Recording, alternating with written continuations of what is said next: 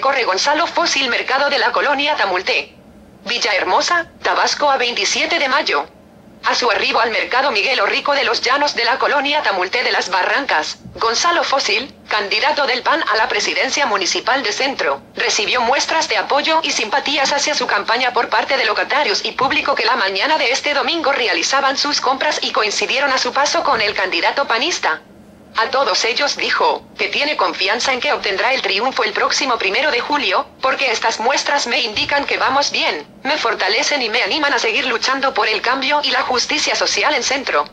Remarcó que así como está generando una campaña diferente, con propuestas inteligentes, viables y contundentes para la solución de los problemas que padecen los ciudadanos tanto en las colonias, rancherías, poblados y villas,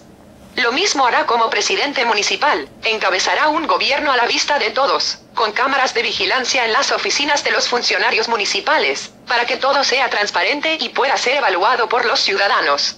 Enfatizó el abanderado panista que la buena moral y la experiencia administrativa es algo que no todos los que compiten para la presidencia de centro pueden garantizar a los ciudadanos. Abundó que se requiere luchar muy fuerte contra la corrupción, representada en su campaña como una culebra,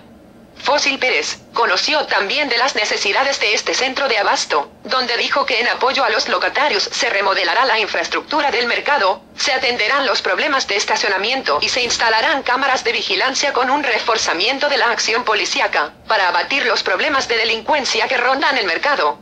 Gonzalo Fósil reconoció que todos los mercados del municipio presentan serios problemas que en su administración serán atendidos, porque no podemos permitir que estos lugares donde coinciden muchos ciudadanos, permanezcan en condiciones deplorables, ya que son parte de nuestra forma de vida y deben estar limpios para orgullo de todos, puntualizó.